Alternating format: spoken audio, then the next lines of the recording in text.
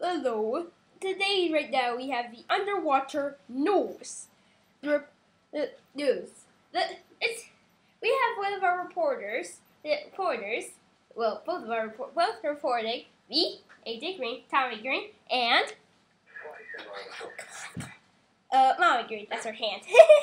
uh, we have been take, swimming through the Atlantic Ocean for um so far an hour. Uh, I so She- did, so would you? We have so far we have discovered beautiful. the Atlant the uh, an- some angelfish right now. Now, Spinach. the, the best angelfish I've ever seen. Believe it or not. They, we also have we also AJ, have seen some recent Say goodbye. sharks. Say goodbye to the camera. We'll see. We'll see you next time on Underwater News.